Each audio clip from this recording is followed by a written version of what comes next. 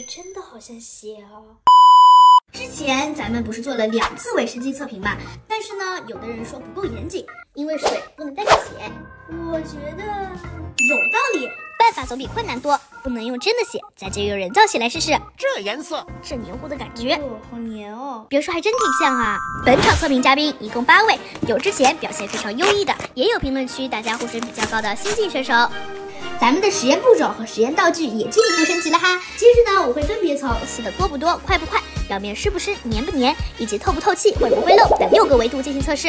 一起来看看有哪几位能真正经受得住血的考验。我先用巴氏滴管模拟人体流血的状态，分别在卫生巾的中央位置滴下十毫升左右的模拟经血，然后等待几分钟观察吸收情况。有吸收的比较快的，也有表现差强人意的。这都过去了五分多钟了，还没有吸完啊。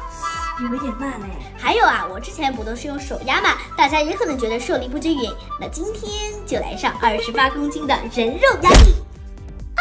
有好几个直接粘住了啊！我已经感受到了，好黏啊！Oh my god！来看看各位的反渗情况，这一轮的表现，大家的差距都还挺大哎。然后我又用人体皮肤湿度测试仪测了大家的湿度。结果和人体压力测试的表现差不多。我们再来看看他们粘不刚刚做的那个血啊还是蛮黏的，不知道被卫生巾吸收了之后会怎么样。哦，一粒也没有哎。还有，果然越干爽越不粘。经过湿度、粘度和刚才的吸收力测试，我宣布这次位成功晋级。吸收好、干得快的各位，又是否能经受得住防漏考验呢？上道具。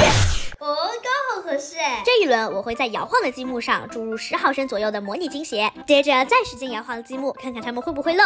这是直接给人家弄倒立。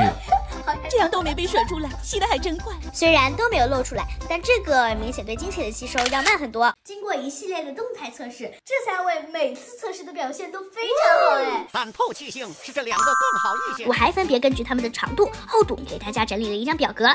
经过我扩大维度的客观测试，其中吸收力表现较好的有，干爽不黏腻的有，还有动态测试依然表现优秀的有。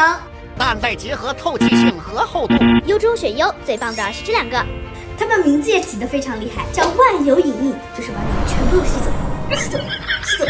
我这个没有来姨妈的，也被他们深深的给种草了。